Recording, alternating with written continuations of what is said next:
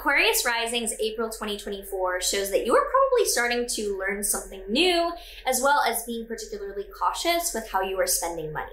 So if you are excited to dive into what the astrology says about you for this upcoming April, make sure that you like, subscribe, and hit that notification bell so you are always up to date with what the stars have in store for you. If you're new here, hi, I'm Maren. I make astrology videos and also music, which you can find down below, along with my astrology courses and my one-on-one readings. So we start on the third with Venus conjunct Neptune in your Pisces second house of income and money. Venus and Neptune together is otherworldly pleasure or beautiful and satisfaction and just like above and beyond beauty. This probably shows that you are starting the month out with something amazing happening to you financially or just something that is an opportunity arriving towards you. And on the fifth, Venus enters your Aries third house. So Venus shows harmony and it will be entering your third house of day-to-day content, writing, or learning during most of this month, showing a lot of focus there. And on the 8th, there is a total solar eclipse happening in your Aries third house. This total solar eclipse shows a huge, very important new beginning starting for you that is taking off, it is groundbreaking, and being in your third house of day to day hobbies, learning, or content you're probably either starting something new with content and social media, or you're deciding to pick up a hobby and learn something new that you're really dedicated to. Then from the 9th to the 11th, Mars will conjoin Saturn in your second house of money. Mars and Saturn together is objectively challenging and very, very serious. So this probably shows that you are starting to run into financial issues, blockages, or needing to be more conservative. And from the 11th to the 12th, there's a Sun Mercury cazimi in your second house, which shows insight or clarity about these difficult financial matters. Then on the 15th onward, Jupiter will conjoin Uranus in your Taurus fourth house. So Jupiter expands and is positive, and Uranus is about innovation, disruption, and something that's like lightning new. The two together shows an amazing like burst of newness or some random opportunity that is sudden and random.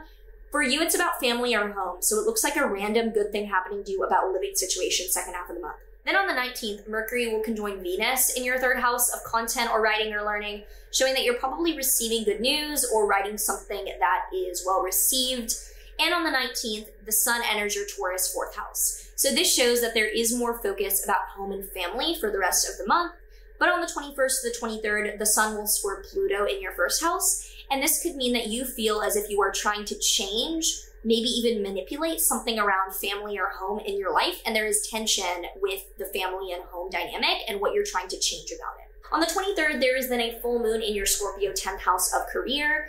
The 10th house being job and profession and a full moon being an ending shows that you're probably either letting go of a chapter or an entire career as something that you're no longer focused on. On the 28th to the 30th, Mars will conjoin Neptune in your Pisces second house. This shows spiritual warrior or being the bigger person kind of energy as it pertains to money. So it looks like you're taking a spiritual, altruistic, peaceful approach to whatever financial issues you're dealing with. And on the 29th, Venus enters your Taurus fourth house. This shows more ease, harmony, and love coming towards you with home or family as we enter May.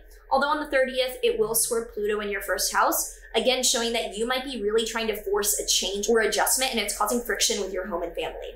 And finally, we end the month on the 30th with Mars entering your Aries third house. So as we enter May, there is more tension, effort, and conflict you might be dealing with either online or with what you're learning new. So if you have any thoughts about what is coming up for you this April, do make sure to leave me a comment down below with how you're feeling. The tarot card that we have here for Aquarius Risings this April is the Eight of Pentacles. This is all about humble beginnings and humble growth, like brick by brick, nail by nail, building something valuable. So it shows that you are starting to build something or create something, but you're starting kind of at the bottom and at the very, like, you know, bottom, like, runt of the litter kind of thing. And it's going to be, you know, I, I, don't see it being challenging based on what's happening in, in, in the transits, but it is like little by little. So it could be that you're starting off very new. Hope that this was helpful and hope that you have an awesome April ahead. Make sure that you like and subscribe if you are not already. I know about 50% of you guys are. It would be great to get that closer to 100%. Otherwise, I hope that you have an awesome April and I will see you in the next one.